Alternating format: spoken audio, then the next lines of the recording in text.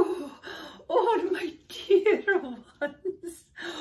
As winter begins, the temperatures are falling and we are preparing for snow and ice. And have you seen these fuzzy little white flakes floated from the sky where you live? These snowflakes form when a cold drop of water attaches itself to a piece of dust or pollen. And when that happens, it creates ice crystals. Oh, as the ice crystals keep falling to the ground, the water vapor freezes onto the main crystal.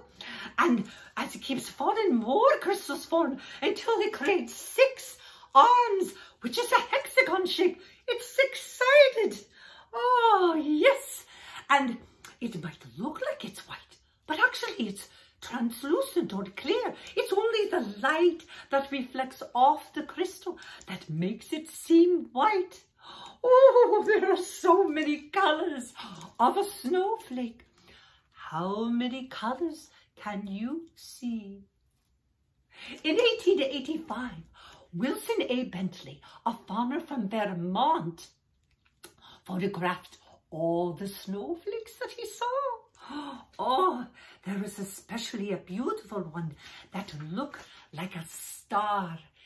And he called that a stellar snowflake. And there were other snowflakes that looked like ferns. And he called them fern-like stellar dendrite pattern. My dear ones, did you know that there are over one septillion snowflakes falling from the sky every year. That's 24 zeros. Oh, what an amazing sight.